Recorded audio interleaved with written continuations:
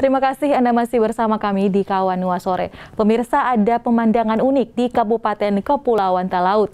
Wajah pagar rumah di 142 desa seragam dari corak hingga warna. Berikut liputannya.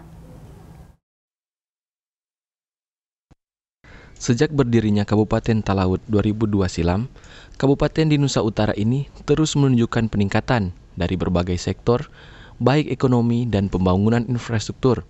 Walau masih ada beberapa wilayah yang ada di Kabupaten Talaut, infrastrukturnya masih belum dapat dinikmati warga sekitar hingga saat ini. Namun, ada yang menarik dari sisi penataan pemukiman warga dengan dibangunnya pagar yang seragam di 142 desa yang ada di Kabupaten Talaut. Diketahui, pembangunan pagar yang seragam di 142 desa ini menggunakan dana desa tahun anggaran 2015 hingga 2017. Camat Lirung Damura mengatakan, tujuan dibangunnya pagar seragam yang ada di 142 desa yang ada di Kabupaten Talaut demi memperindah wajah pemukiman warga. Ini mengenai eh, pagar yang ada di Kabupaten Talaut, tentunya kami selaku pemerintah eh, Kecamatan Lirung mengapresiasi.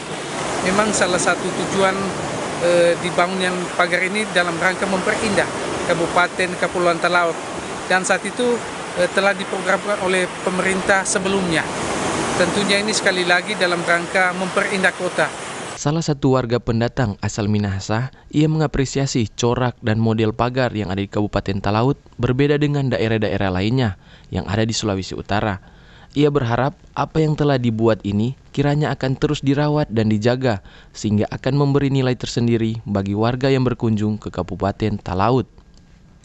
Jujur sebagai pendatang, sudah tiga tahun saya di sini. Awal kedatangan saya tentu saya terkejut ya, kaget karena melihat pagarnya yang sama. Dan saya pikir cuma di ibu kotanya yang sama. Ternyata setelah saya jalan-jalan e, menelusuri desa-desa dan juga ke pulau-pulau seberang, ternyata tetap pagarnya masih sama dan ini merupakan salah satu ciri khas yang unik dan yang bisa menjadi uh, sesuatu yang bisa dibanggakan oleh Kabupaten Kepulauan Talaut.